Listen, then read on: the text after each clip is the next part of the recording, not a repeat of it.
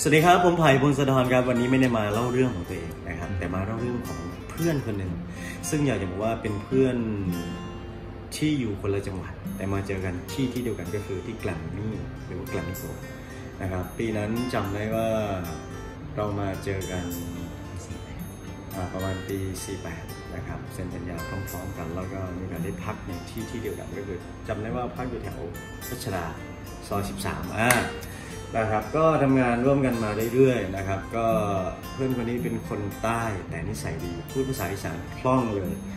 นะครับ เป็นคนที่เป็นกันเองและที่สำคัญนะครับ ก็คือมีการได้ทำงานร่วมกันหลายๆครั้งนะครับ ก็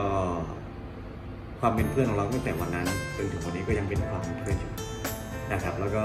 ทราบข่าวมาว่าเร็วๆนี้นะครับเร็วๆนี้เขาจะมีเพลงใหม่ ออกมาให้ทุกคนได้ฟังกันหลังจากทุกท่านได้ฟังในเรื่องราว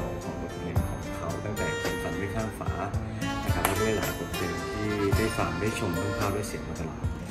วันนี้นะครับมีเพลงใหม่อยู่เพลงหนึ่งอยากให้ทุกคนได้ฟังกันนะครับความพิเศษของเพลงนี้ ก็เป็นเรื่องราวนะครับที่มันเกิดขึ้นในบทเพลงแล้วก็รวมไปถึงภาพและเสียงที่มันสวยงามแล้วก็รวมไปถึงการทำงาน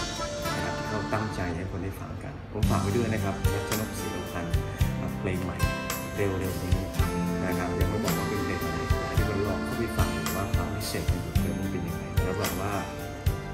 ฟังแล้วคุณจะยิ้มได้และคุณจะมีความสุขกับเพลงนี้ครับรัชนกศรีพันธ์นะครับฝากด้วยนะครับ จะได้ไม่ต้องลำบากใจ ดีไหมให้คนที่ต้องเดินจากไป คือฉัน แค่เธอลังเลก็รู้ว่าเธอรักใครมากกว่ากัน ระหว่างฉัน